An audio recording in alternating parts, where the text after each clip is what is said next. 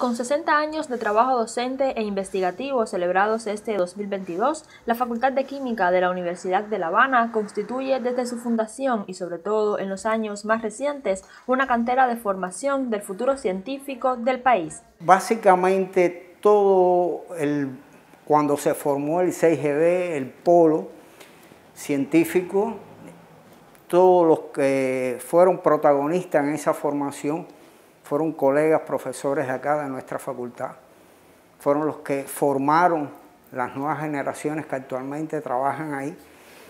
Y parte de esa formación continua que se lleva a cabo la lleva a cabo nuestra facultad. Sus aulas y laboratorios han sido testigos del desarrollo de profesionales internacionalmente reconocidos, cuya labor como especialistas de centros científicos ha permitido a Cuba alcanzar logros tan importantes como las vacunas anti-COVID-19.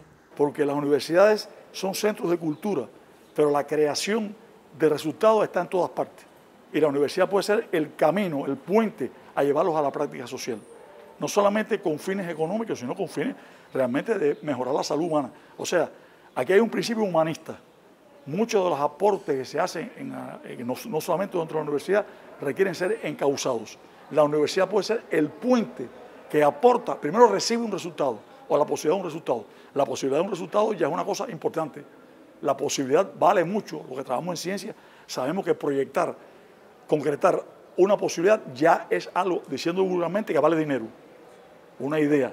Y por ejemplo, las universidades ahora se están moviendo hacia las patentes, lo cual es muy importante. Como un reconocido aval de méritos en su haber, esta facultad, en conjunto con todas las universidades cubanas, trabaja incansablemente para mantener a la mayor de las Antillas en la élite científica mundial. Si bien ha sido una etapa, digamos, eh, triste y dolorosa, eh, ha ha evidenciado algo que es esencial, que no hay forma de que un país se desarrolle si no se vincula a una universidad. Y es que sería prácticamente imposible pensar en el desarrollo de una nación sin consolidar primero a las universidades como la casa grande desde donde comienza a andar un país. Con la colaboración de la Dirección de Comunicación de la Universidad de La Habana, fue un reporte de Marilei García para Cubavisión Internacional.